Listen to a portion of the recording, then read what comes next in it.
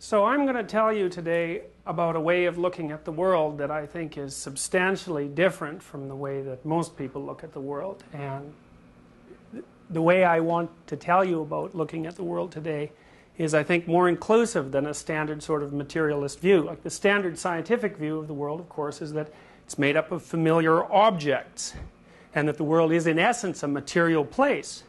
But there's some very potent limitations of that viewpoint, despite the fact that it's given us tremendous power. And the limitations are essentially as follows. The essential materialist view can't tell us anything about consciousness, which is probably the primary fact of experience.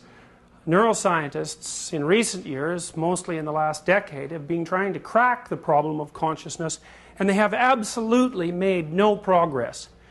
They've tried to associate consciousness with neuronal activity, but that seems to be an incomplete answer because there's many forms of neuronal activity in the brain that aren't accompanied by consciousness at all. Not only do neuroscientists understand virtually nothing about consciousness, they can't even really figure out what its function is. They can't understand why our brains would go to so much effort to make us aware of things when it isn't clear at all that awareness is necessary for life, especially given that there are many life forms on the planet that don't seem to be aware at all. The standard materialist view is also insufficient in many other ways. It's insufficient philosophically, I think, as you probably all know, because a conception that portrays the world as made up of objects is in some really fundamental way dead. Right? It doesn't seem to have a place in it for human beings, or a place in it for meaning, or a mode whereby you might be able to conceptualize the real existence of something like an emotion or a dream or a motivation. All phenomena which are just as mysterious to neuroscientists and to scientists in general as consciousness. Now, the problem with this seems to be mostly experiential. If you have to ask people what they know more than anything else, they know, number one, that they're conscious.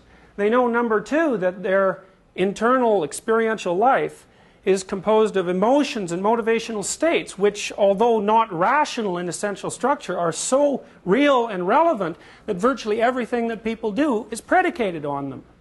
So, our current viewpoint, despite its ability to give us tremendous technological power, seems to eradicate from formal consideration many, many essential experiences that are vital to life, in fact, even perhaps primary. Now, I'm going to suggest to you today that there's an alternative viewpoint. And I, I, think also it's one that, although you may be hearing about it formally for the first time, is also something that you know unbelievably deeply.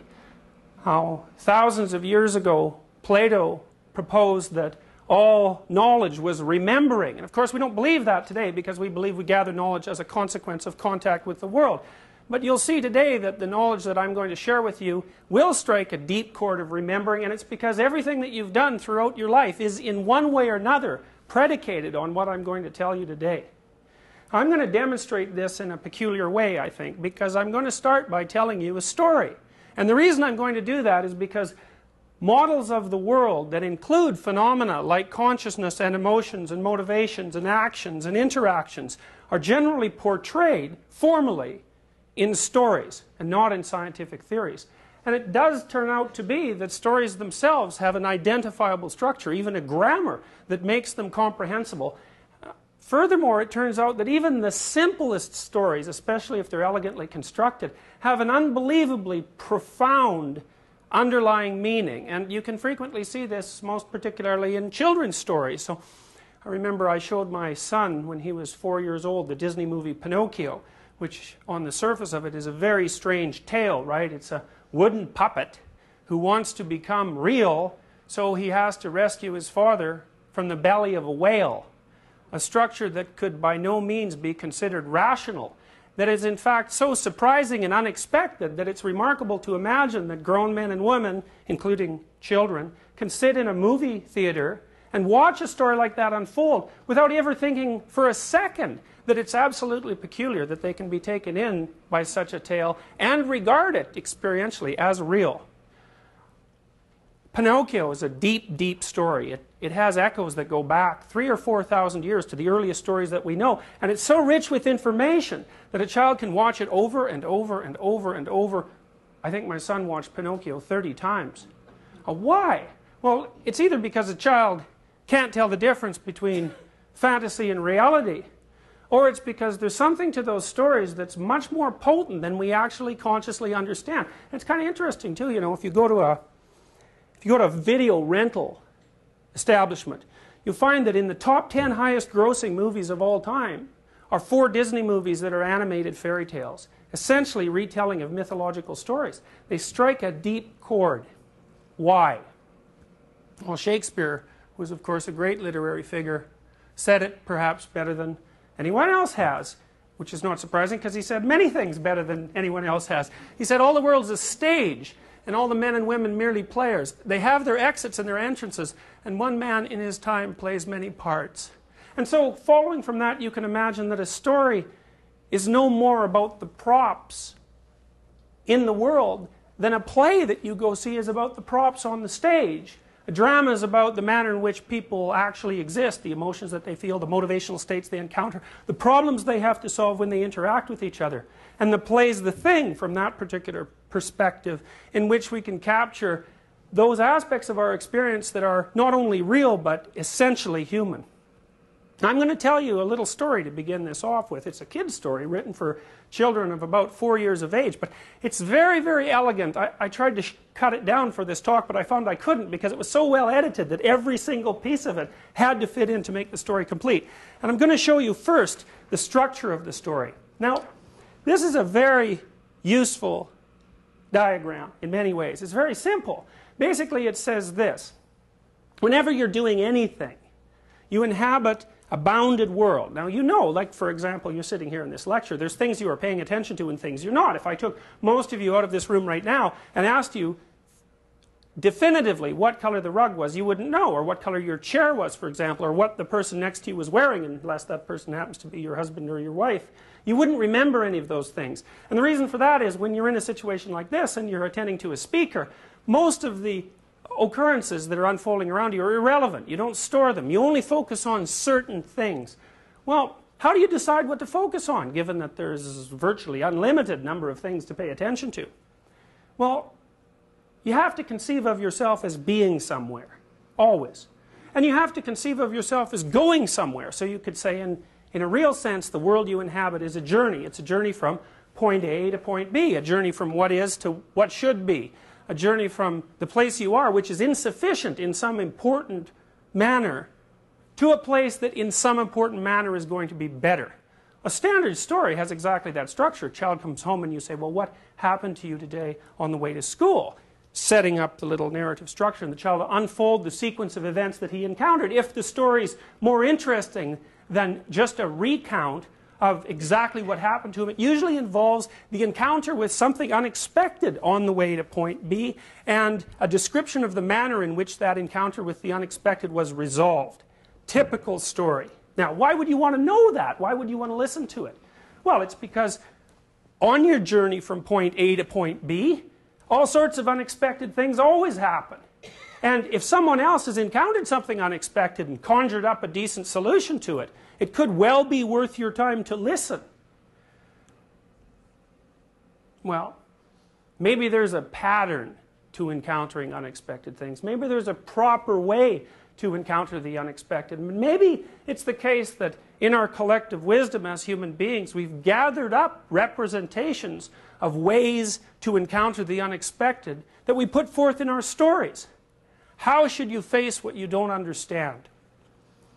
Well, now I'm going to tell you this story. It's written for four year old kids. But I want you to take a look at it for a moment from a different perspective and see if you can imagine exactly what it is that it's saying.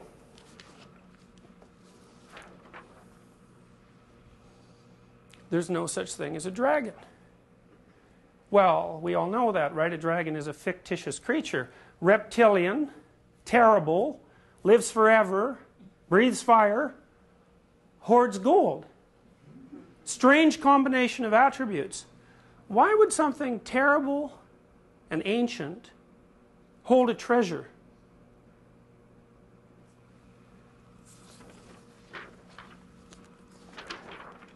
Billy Bixby was rather surprised when he woke up one morning and found a dragon in his room. It was a small dragon about the size of a kitten. The dragon wagged its tail happily when Billy patted its head. It's interesting, you know, in Chinese mythology, the dragon is a positive figure. In European mythology, the dragon is something to face in combat and destroy, or something to face in combat and build something out of the pieces left over from the dragon. Billy went downstairs to tell his mother. There's no such thing as a dragon, said Billy's mother. And she said it like she meant it. Remember once my daughter had a nightmare. Eh, she was about four. This was at the time when she first started to notice graffiti and litter. And both graffiti and litter bothered her. She couldn't understand the motivations behind the graffiti artist, and she didn't like the fact that there was litter cluttering up the world's order. And the reason she got sensitive to that as a child was because children are really, really dependent on order, right? I mean, and the reason for that is that their realm of competence is rather restricted. So they like to see things me messed up. So little kids, for example, they're not happy with you if you play a game with them and then mess around with the rules of the game. They don't like that at all. They think that that's immoral activity to shake up the structure of the game. Well, anyways, while she was pondering all this, she uh, came into our bedroom one night and said, Dad, I had a nightmare. Now, we all know, right? Nightmares aren't real, just like dragons. Dreams aren't real. Of course, which raises the question of why in the world you'd bother having them six or seven hours a night every single day of your life, and why they're a recognized feature of animal behavior all the way down to the amphibian level. She said, I dreamt that there was a clear flowing stream, but in the stream there was all sorts of garbage, and it scared me and bothered me so much I woke up. So I told her, Look, close your eyes and imagine the stream. It's full of garbage. What should you do about it? She said, Well, I should take the garbage out of the stream. I said, All right, so picture the stream, picture yourself cleaning the garbage out of it. She calmed down and went back to sleep. Why? Well, because dreams concentrate on threat. We know that. They present threats to you, threats you haven't been able to deal with well. There's a part of your brain that tracks threats. And it's not really all that smart in some ways. All it does is say, look, here's a problem. And it's waiting for the rest of your brain to conjure up some solution to that problem. And if it doesn't conjure up a solution, then it just presents the problem over and over and over and over and over. So people who have post-traumatic stress disorder, for example, who've been really upset by their contact with something unexpected, dream about the same tragedy forever until they solve it. And they solve it by facing it and living it over and over voluntarily. So you might think right off the bat from listening to that little story that suggesting to your four-year-old daughter who's just had a nightmare that her fears aren't real and that the dream representation of them isn't real because it's not tangible like a table might not really be the best approach to the problem. So you see, Billy, he's pretty much got it right right off the bat, right? The dragon wagged its tail happily when Billy patted its head. Billy went downstairs to tell his mother. There's no such thing as a dragon, said Billy's mother, and she said it like she meant it. So there's a dragon in this house. Now, the next thing you might wonder is how often have you actually gone into a house where there's a dragon? My guess is if you don't take this particularly specifically and allow yourself to use your imagination and to think metaphorically for a moment, you've all encountered dozens of houses that were filled right to the rafters with various dragons, all of which were being studiously ignored by the people who inhabited the house. Billy went back to his room and began to dress. The dragon came close to Billy in a friendly manner and wagged its tail, but Billy didn't pat it. If there's no such thing as something, it's silly to pat it on the head. Billy washed his face and hands and went down to breakfast. The dragon went along. It was bigger now, almost the size of a dog. Billy sat down at the table. The dragon sat down on the table. This sort of thing was not usually permitted, but there wasn't much Billy's mother could do about it. She'd already said there was no such thing as a dragon. And if there's no such thing, you can't tell it to get down off the table. Sometimes I sit with friends of mine who have very young children to eat, say. And the children, two or three years old, don't sit at the table, they sit on the table, or they run around the table, or they run around the table and pull things off the table, or they run around the house and pull things off all the shelves in the house and keep their parents so busy chasing them around that they have no time whatsoever to interact as adults. Well, you have to wonder under those circumstances whether you're dealing with a child or a dragon, so to speak. And you also might wonder whether or not the dragon is large and unruly, precisely because the parents are completely unwilling to admit that it actually exists. Mother made some pancakes for Billy. But the dragon ate them all. Mother made some more, but the dragon ate those too. Mother kept making pancakes until she ran out of batter. Billy only got one of them, but he said that's all he really wanted anyway. One time, uh, an acquaintance of ours in Boston brought their son over to be babysat at our house, and his nanny had just been in a car accident, so he was being shunted from house to house while his parents went off to work. And uh, he didn't have very good reputation, this kid. He was about four. And uh, he came over to our house and with his mother in the morning, and she dropped him off, and she said, Well, he probably won't eat all day, but that's all right. And I thought, No, he's four. If he doesn't eat all day, uh, that's not all right, right? Because kids, if they don't eat, they're basically horrible, right? If they don't sleep and they don't eat, they're horrible. So it isn't all right that he doesn't eat. So then you think, well, maybe there's some sort of dragon associated with this child that happens to be interfering perhaps with his ability to eat. So I came back at noon. My wife had taken care of the children that day, and I walked in the house, and the other four or five kids that we had in the house were off playing, and this little kid was standing in the corner, like really isolated and looking, you know, upset fundamentally. So I went over and I poked him a bunch because generally, if you poke a kid a little bit, you know, well, they'll go like this, you know, they'll sort of back off. But sooner or later, you can crack them and they'll smile and then they'll play. Not this kid, boy. There's no bloody way he's going to play with me. And that was that. Like, he'd already learned that adults should either be ignored or that they were trouble. And he wasn't going to let any adult into his little world. So there was absolutely a dragon associated with that little boy, and it was eating all his pancakes. Billy went upstairs to brush his teeth. Mother started clearing the table. The dragon, who was quite as big as Mother by this time, made himself comfortable on the hall rug and went to sleep. I really like this one. By the time Billy came back downstairs, the dragon had grown so much he filled the hall. Billy had to go around by way of the living room to get to where his mother was. I didn't know dragons grew so fast, said Billy. There's no such thing as a dragon, said Mother firmly. Cleaning the downstairs took Mother all morning. what with the dragon in the way and having to climb in and out of windows to get from room to room. So, you know, you think back in your own experience when you've gone to a house where there's a dragon hiding underneath the living room rug and nobody's saying anything about it. And then you think, how long does it take to get something absolutely simple done in a house that's absolutely jammed to the rafters with unfinished business? Forever, right? Organizing people in a household like that to even do something as simple as go out for breakfast in the morning or even perhaps to make a meal is virtually impossible. Why? Well, because there's something going on in the household that has been studiously ignored for a very long time and has grown so large as a consequence that it occupies the whole domain. By noon, the dragon filled the house.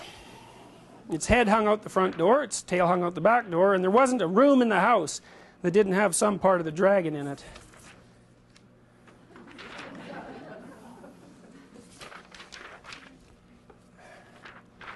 When the dragon awoke from his nap, he was hungry. A bakery truck went by. The smell of fresh bread was more than the dragon could resist. He ran down the street after the bakery truck. The house went along, of course, like the shell on a snail.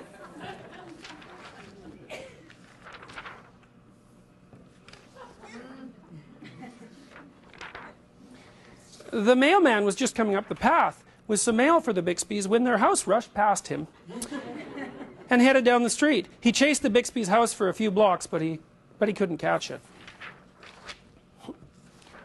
when Mr. Bixby came home for lunch, the first thing he noticed was that his house was gone. Luckily, one of the neighbors was able to tell him which way it went. You know, that sort of thing happens to people not infrequently too, right? They, they're not really looking around much at what's going on, and they come home from work one day and their house is gone. And what does that mean? Well, maybe their children have become completely alienated from them, or maybe their wife has decided suddenly, but of course not so suddenly, to leave. Why? Well, according to this story, it's because something ignored was growing in the house. Mr. Bixby got in his car and went looking for the house. He studied all the houses as he drove along. Finally, he saw one that looked familiar. Billy and Mrs. Bixby were waving from an upstairs window.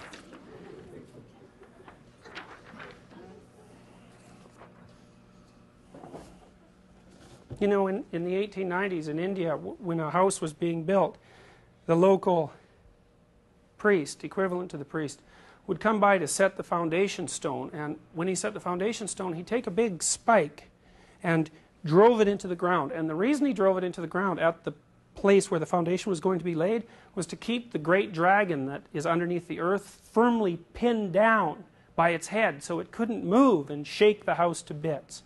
And what does that mean? Well, it means the same thing that's meant in the New Testament when you're told not to build your house on a foundation of sand, right? It doesn't matter how good the house is or how well constructed it is or how rich it is if the foundation is made out of sand or if it rests on top of a dragon. There's nothing in that household that's ever going to be accomplished that's positive. And the wealthy display that the house might consist of is nothing but a sham.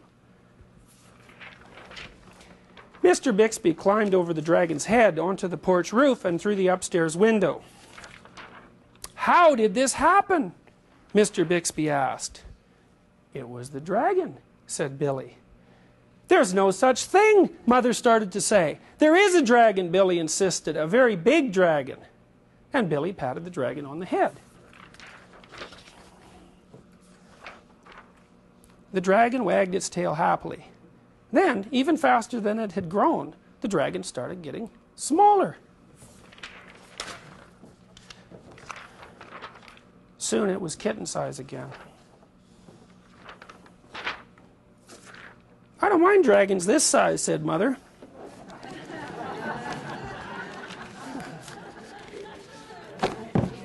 Why did it have to grow so big? I'm not sure, said Billy, but I think it just wanted to be noticed.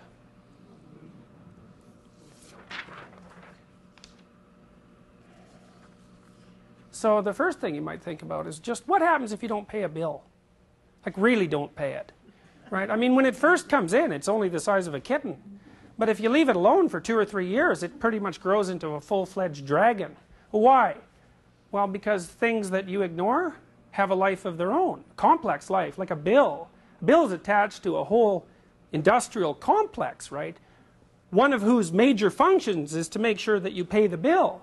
And if you don't pay the bill, then you immediately find out what it's connected to. It's connected to something immense and very troublesome. And if you allow the full force of that thing to manifest itself, it's not pretty. So, one lesson from this story is that if something's nagging at you, just a bit, it's probably better to deal with it before it turns into a full-fledged dragon. And then you might think, well, what if it's already a full-fledged dragon, right? I mean, then what's your option? Is there nothing left but to run away? And so then I can tell you what we know from 50 years of studying the outcome of clinical psychological interventions. So let's take an extreme case, right? Let's say something truly terrible has happened to you, and as a consequence of that, you're in shock, post-traumatic shock, which is a condition that's sufficiently serious to damage your brain over time. It's not only a psychological disorder, it's a physical disorder. If you're really stressed, your cortisol levels shoot up. And if your cortisol levels shoot up, that cortisol in high doses is a neurotoxin, starts to damage your brain. So let's take a very extreme case and imagine that you've been violently sexually assaulted and as a consequence of that you're in post-traumatic shock. How do you get cured?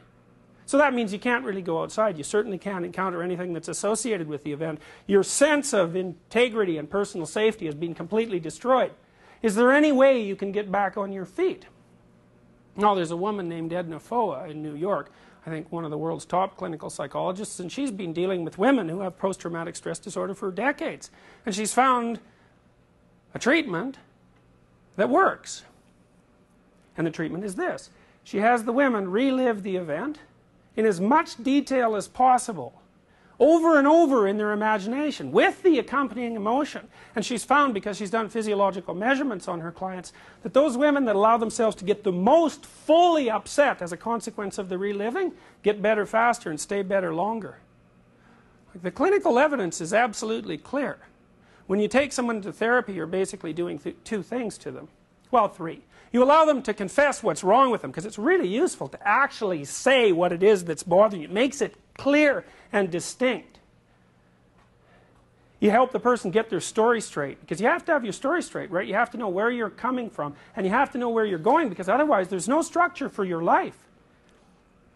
And the third thing is if your path from point A to B is being blocked by something that you're afraid of, you better learn to confront it because if you don't, it will grow and expand until it turns into the kind of dragon that occupies your whole house.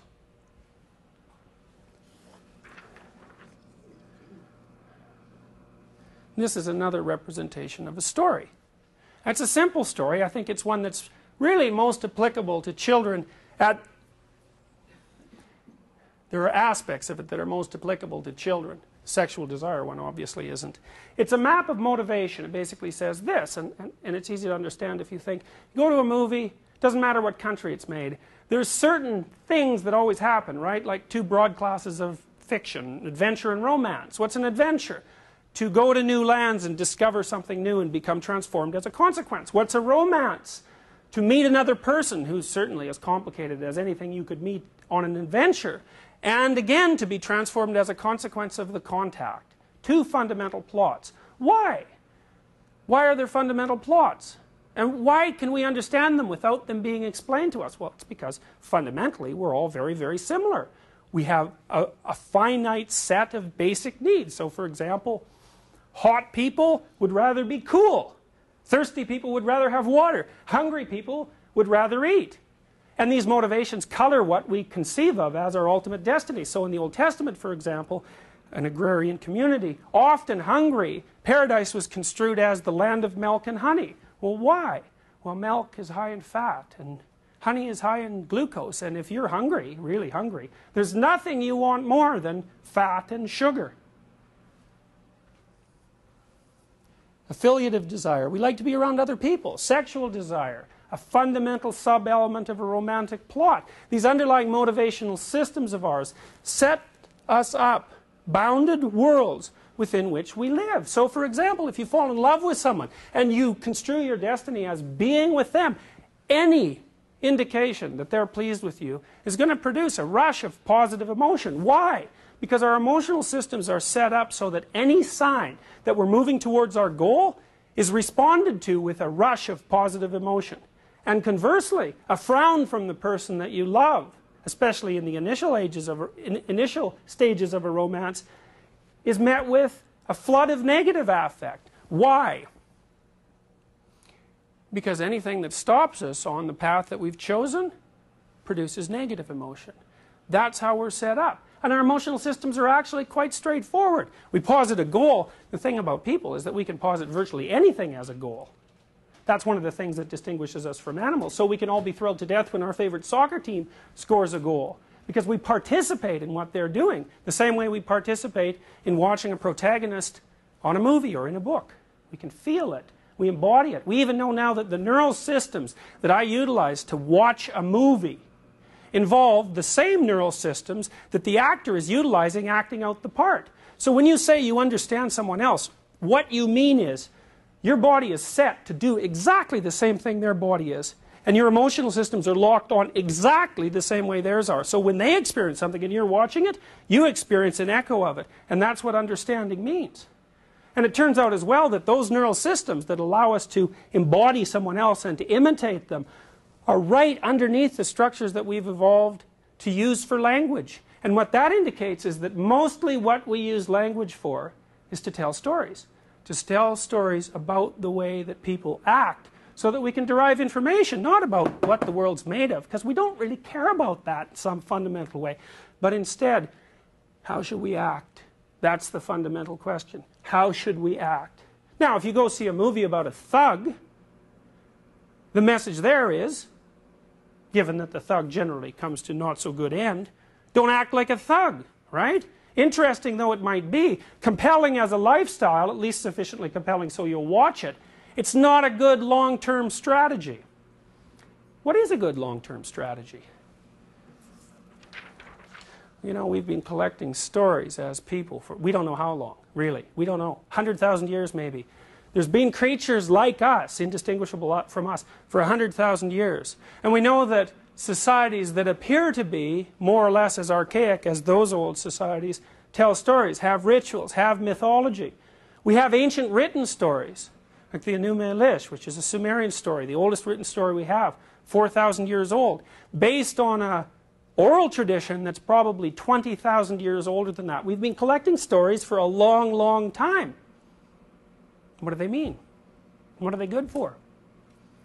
Well, imagine this, you know, you tell a story to your husband or your wife, eh, about something interesting that you saw, right? Well, then imagine that you could collect a thousand of the most interesting stories. And then imagine that you were some kind of literary genius like, like Shakespeare, and you could take those thousand interesting stories and boil them down to a hundred really interesting stories. And then imagine that you had 10,000 years to gather up those hundred most interesting stories and average them, and you could come out with one perfect story, the best story, the most interesting story that you could possibly tell.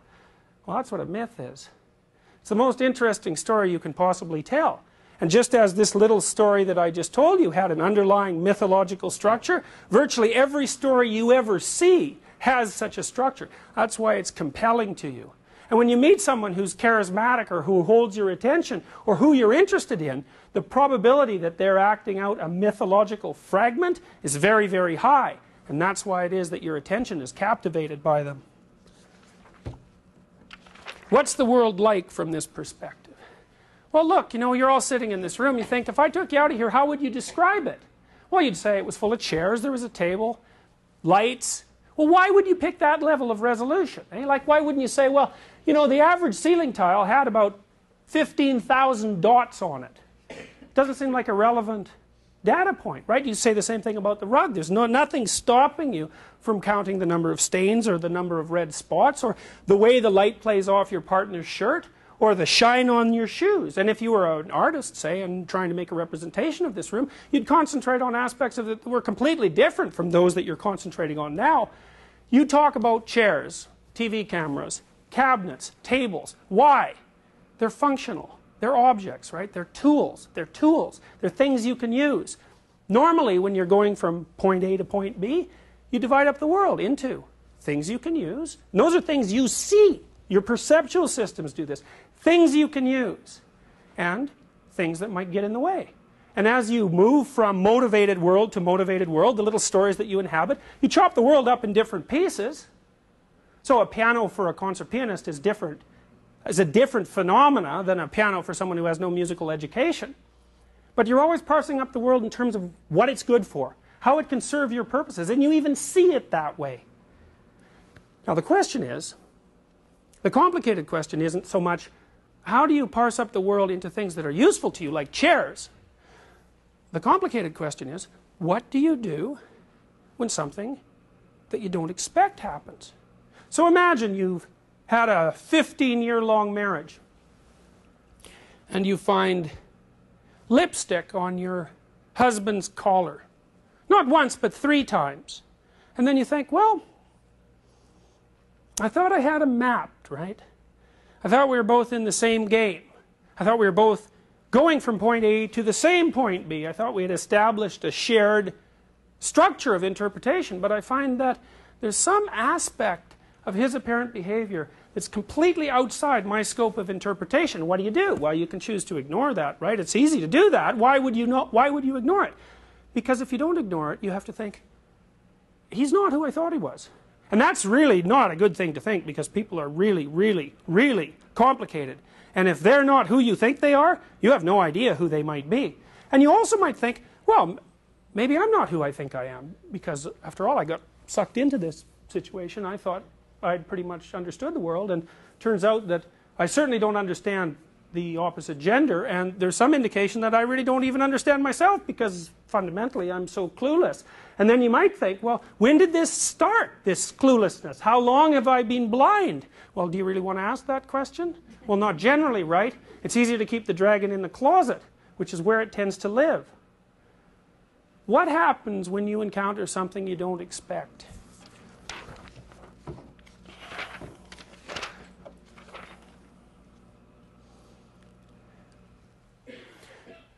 For a long time, psychologists thought that people learned fear. Right? So your typical person, your typical lab rat, was a calm creature. Now it's a funny thing, eh? Because if you take a lab rat out of his home cage and you put him in a new cage where you want to teach him, say, to be afraid of something, to be afraid of a light paired with a shock, which is a typical psychological experiment. The funny thing about the rat is you got to let him calm down before he's normal. Well, except that you might think that the not calm rat is also the normal rat, right? You take the rat out of his cage and you put him in the new cage, and what does he do? He goes like this. Why? Well, he's a rat, right? Someone might eat him. So he's a bit nervous about being in this new situation. Rats do not like being in new situations. They don't like bright light. If you put them in a new situation that's brightly lit, they go right over to the corner because they think maybe cats won't find them. Rats are so afraid of cats that they never even have to meet a cat to be afraid of them. So you can take a rat that's never seen a cat in his life, and if you let him smell some cat odor or show him a cat, he'll, well, I'll tell you, if you show a rat a cat somewhere he doesn't expect it, he will run back to his burrow and scream for 24 hours.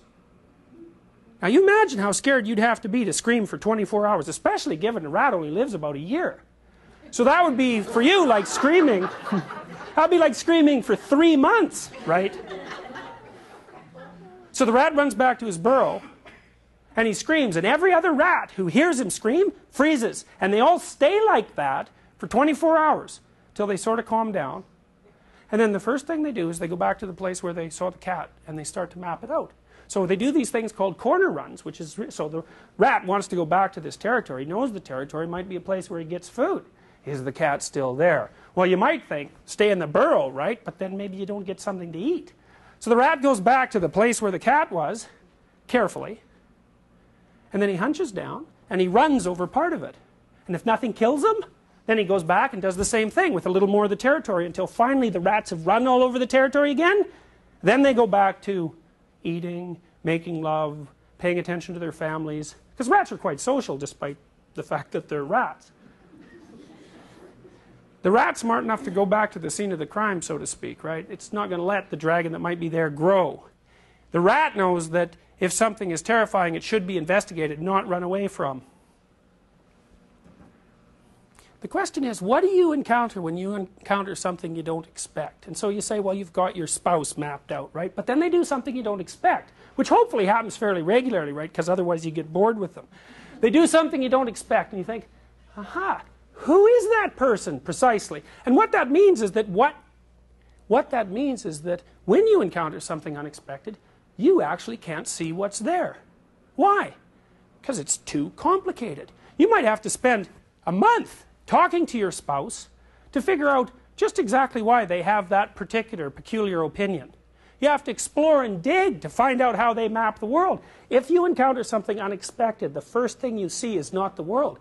The first thing you see is just a sense of discomfort and fear combined with some latent curiosity that the world is not the way you thought it was. Now, how do you find out what the world is actually like? We have to investigate it. You have to investigate it. It means you have to take a risk. You have to move forward the same way that people do in psychotherapy. You have to find the thing that you're bordering on avoiding and go in and map it. Now, it's a curious thing, you know common anxiety disorder is agoraphobia. Agoraphobia is a generalized anxiety disorder, and people who suffer severely from agoraphobia often get to the point where, because of their panics, they're housebound. They can't go outside their room or their house. Now, they'd run away from their room or their house too if they could, but there's nowhere to run, so they're pretty much stuck being somewhere. So, an agoraphobic comes in for therapy. I think, well, what do you do with them? And you say, well, the agoraphobic says, I can't go on elevators. And you say, okay, well, let's go try. And you say, all right, well, relax. So teach the person to breathe, which really doesn't help that much, but it makes them feel better. You can do this without teaching them to relax. It doesn't matter a bit, but it does help them feel better. You say, okay, well, there's the elevator. say, how close can you get to the elevator? You say, well, I, you know, I can't really get more than like 20 feet. That's maximum. I said, well, okay, let's just go up to 20 feet there, and and they do that, and then you let them stand there and stand there and stand there and stand there and stand there. Sooner or later, they get bored of being 20 feet from the elevator. And then you say, well, look, you know, let, let's, could you go 10 feet? Uh, no, I couldn't go 10 feet. That's too close. How about, could you go three more feet? Yeah, I think I could do that. So they go three more feet, and then you let them stand there. And they find out nothing terrible is happening sooner or later. And then they go another three feet, and then they go another three feet. And then they're, they're like confronting the elevator. And then they're inside the elevator, but they're going like this because they don't want to look at the elevator, right? So you say, well, you got to look at the elevator, you got to look at the numbers, you got to look at the buttons. Um, so they do that. And then you think, well, could we go up a floor? No, we couldn't go up a floor. Okay, well, I'll tell you what. We'll just close the door, I'll put my hand in, it'll open again. Could you do that? Yeah, I could do that. Step by step. Sooner or later, and usually sooner, bang, they've gone up a floor, right? So then what happens? They go home and have a fight with her husband that's been brewing for like 15 years. Why? Well, it's not because the elevator is symbolically related to the fight. It has nothing to do with it. It's because what the person learns in the combat with the unknown, which just happens to be taking the guise of an elevator, is that they can confront things that frighten them without being destroyed by the confrontation. And so what you see immediately, and this was contrary to an original psychoanalytic prediction, is that, man, you know, you take that person out and you teach them they can go in the elevator, and right off the bat, they're going to shopping malls, they're in taxis, they're back in the subway, and they're standing up for themselves at home. Generalization. Why? Because they didn't learn that the elevator wasn't frightening. That isn't what they learned. They learned that despite the fact that the elevator was as terrifying as anything they've ever encountered, they were actually up to the challenge. And now that's a really useful thing to teach someone, right? Because if you have an obsessive compulsive patient, I had one who actually used to work with radiation. Now he was terror. He worked in a, uh, some kind of biolab in Montreal. People with obsessive compulsive disorder often very frightened that they'll contaminate someone else. So like typical obsessive compulsive obsession would be I'll go to a shopping market, I'll touch some fruit from, you know, some third world country, I'll get some nasty bacterial disease, I'll bring it home and I'll give it to my kids. Well, you tell them, look, you know, the chances of that are like 1 in 150,000. And they look at you and they think, I don't care if the chances are only 150,000? What if my kids die? And you think, well, yeah, that does pose a problem, doesn't it? Because it isn't exactly clear from a logical perspective where you should draw the risk line. Well, with the obsessive compulsive, you do exactly the same thing. You say, look, yeah, your fear is real, no kidding, because lurking at the bottom of their fear is the same fear that everybody else has, right? Same fear. I might die, I might get sick. I might lose the people that I love. Not only might that happen, it's going to happen. Well, why aren't people afraid of that all the time? We don't really know. Obsessive person becomes aware of it. What do you tell them? You say, do it anyway. Do it anyways. And they learn quickly that if they don't run away from the thing they're afraid of, there's something in them that responds to it. They learn that the fear is not larger than they are. Now, I like Edna Foa's case in particular because you always might wonder with this, like, what's the limit, right? Okay, yeah, that sounds good in theory, but what if something really terrible's happened to you? Well, what's happened to Edna Foa's patients, that's up there in, with terrible, right? I mean, that's up there with terrible, right? Stripped of social dignity, violated physically. That combines two of people's most specific fears. Well, then there's other kinds of confrontation too. I like the story of Solzhenitsyn. I think it's really a good one because there's different kinds of dragons, right? There's natural dragons like death and disease, and then there's social dragons like bureaucracies and tyrannies. Alexander Solzhenitsyn, you may or may not know, was a prisoner in the so Soviet Gulag concentration camp system that by his report at least killed 60 million people between 1919 and 1959 right 60 million that's 10 times as many as Hitler killed at least with regards to the genocide. 60 million people. Solzhenitsyn, he had a pretty nasty life. I mean, first of all, he's on the Russian front, which was a nasty place to be. Then he was captured by the Germans, and they didn't like Russians. So they put them in separate prisoners of war camp, partly because Stalin, who was a consummate paranoid, wouldn't sign the Geneva Convention on the treatment of prisoners of war. So the Germans set up extra POW camps for the Russians, and they starved generally so badly that if other POWs were in the vicinity, they'd throw food packages over the wire, even though they themselves weren't particularly well fed. So then so the war ends and the Russians win, and Solzhenitsyn goes back to Russia, right? And what happens? He's thinking, you know, wow, this is over. We help defend the fatherland. We're going to get, if not a hero's welcome, at least some welcome. But Stalin figured, no, no, these Russians who'd been to the West, they were contaminated by their exposure to the Western economic system. And as a consequence of that, they posed a threat to the integrity of the Soviet state, so he just threw them all in concentration camps. So, fine. So Solzhenitsyn sitting there in this concentration camp on a coal pile, a coal pile which contained this kind of clay that his compatriots would eat because they were so damn hungry that it was better to have the clay in their stomach than nothing at all. And he thought, all right, what the hell did I do to get here? Which is really a remarkable thing to think, right? Because like there was the Second World War, and that probably couldn't be pinned directly on him. And then there's Stalin, who was, you know, really one of the world's worst monsters. And then there's the concentration camp and the POW camp, and like a lot of things happened to Solzhenitsyn, but he said he had nothing but time to think in this concentration camp, and he wasn't really that happy with the way things turned out. So he made a vow in the camp, and the vow was this. He said he's going to go back over his whole life, whole life, right from day one, and try to remember every time he ever did something he thought was wrong. He thought, right? Not someone else, but that, that gave his conscience a pang. And he said, Well, since I don't have anything better to do, I'm going to spend like the next 10 years seeing if I can undo all those little knots in my soul that I tied.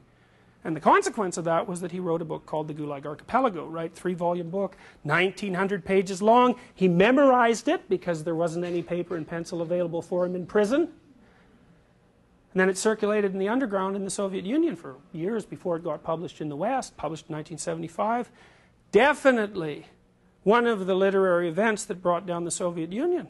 I think that's kind of interesting, isn't it? Think this one guy, right? He's got numbers tattooed on his arm. He's as skinny as a rail. He's three quarters dead. He's been beat to death in 15 different ways. He decides under completely unreasonable circumstances that he's going to take personal responsibility for the position that he happens to find himself in. The consequence of that 25 years later is that Solzhenitsyn's still around, but the Soviet Union isn't. And you think, well, that can't be the way the world works. Now, can it? But then you think this too, like, do we really know how the world works, right? We've had a pretty nasty century in the last hundred years, right? We had the Nazis, we had Mao Zedong, we had the recent tragedies in Africa. We don't seem to learn anything about genocide someone like Solzhenitsyn says, well, you know, might be your fault. Why? What are you ignoring? Good question. Can you make peace with your own family? It's not so easy, right? Probably no easier than making peace between the Israelis and the Palestinians. What do we encounter when we encounter something we don't understand?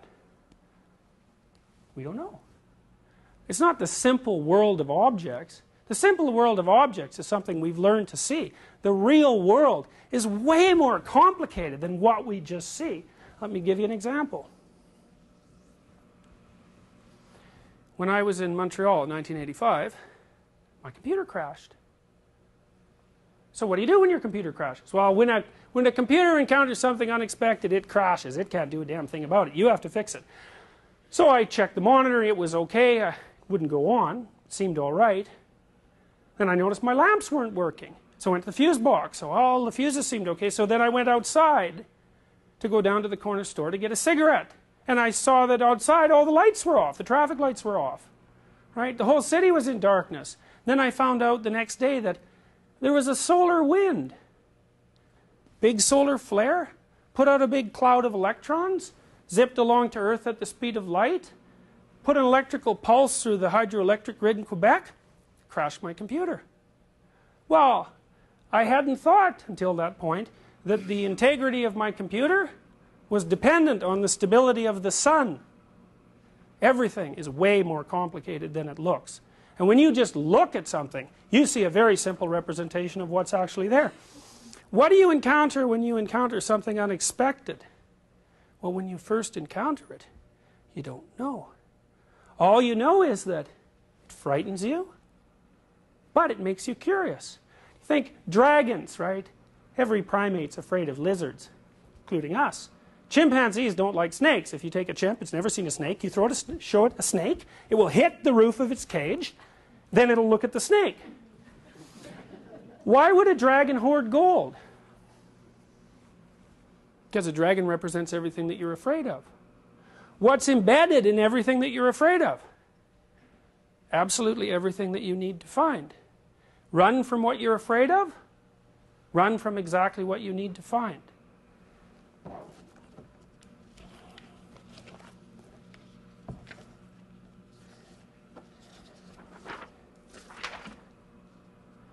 One of the oldest dramatic representations we know of, not this specific painting. This is St. George and the Dragon, right? Dragon lives in the ground, chased there by heroes of a previous generation, now and then re-emerging, kills people, right? These are skulls around its lair. Threatens the integrity of the community, like everything unexpected does. Hero comes out, slays the dragon, frees the treasure. In this case, it's a virginal woman.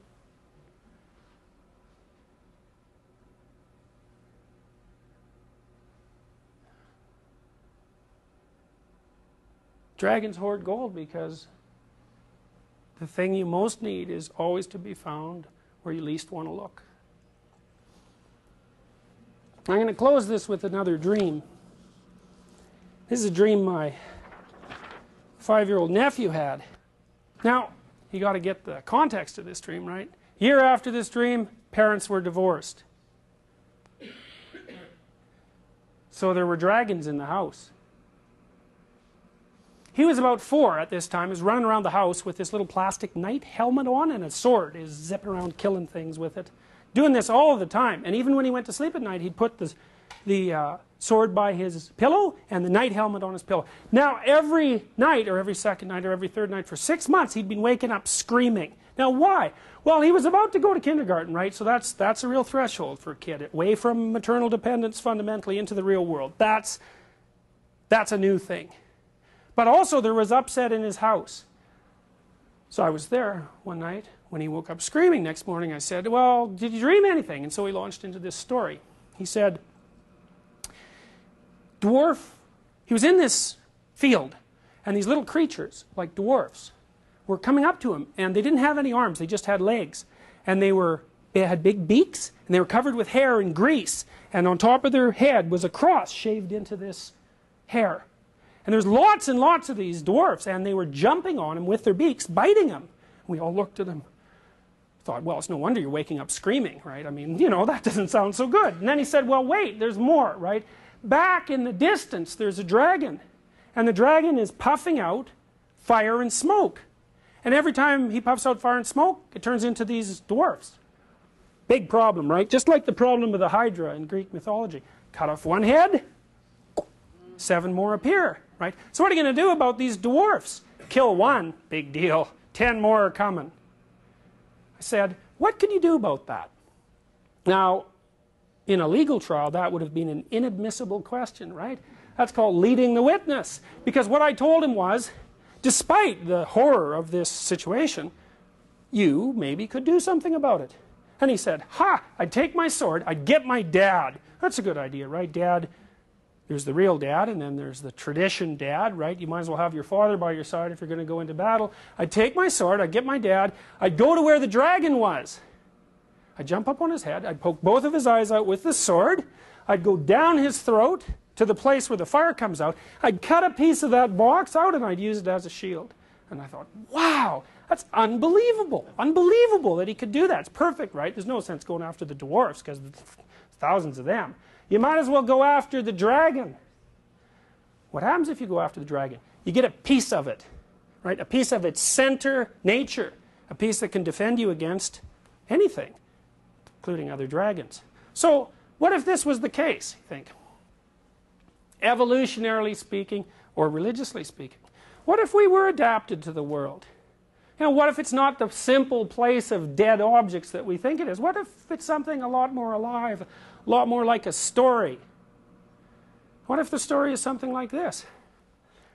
You have absolutely everything you need, but you have to use all of it. If you run away from any of it, and in particular the parts of it that frighten you, which, you know, there's endless reasons to run away from. If you run away from any of it, you don't get that piece of the dragon.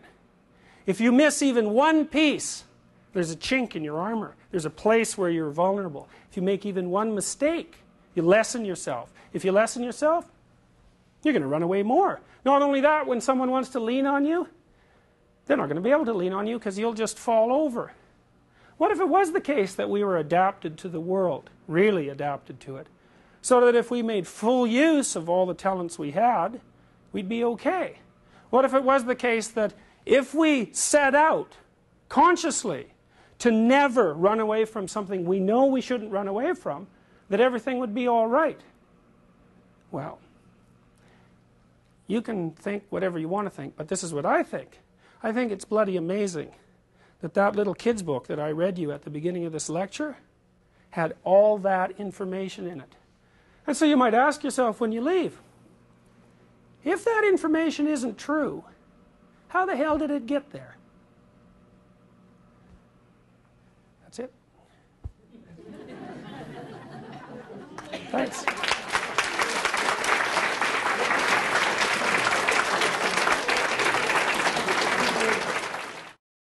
Support Ontario's public television. Donate at tvo.org.